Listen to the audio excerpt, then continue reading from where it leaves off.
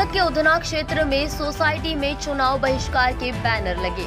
सूरत के उधना विधानसभा मत क्षेत्र में आए विजयानगर सोसाइटी के गेट पर कोई भी नेता लॉलीपॉप देने सोसाइटी में प्रवेश नहीं करे, ऐसे विरोध के बैनर लगे।